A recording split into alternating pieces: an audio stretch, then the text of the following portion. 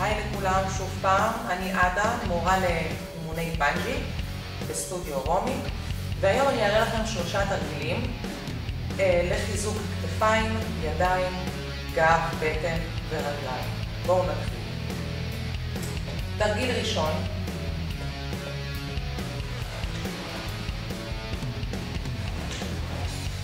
תרגיל שני,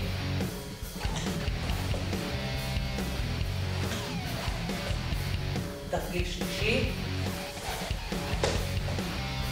עכשיו, ואת אותם התרגילים אנחנו יכולים לעשות בתוספת עבודת רגליים, ובואו נראה.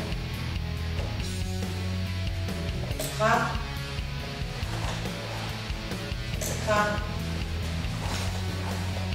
פתיחה,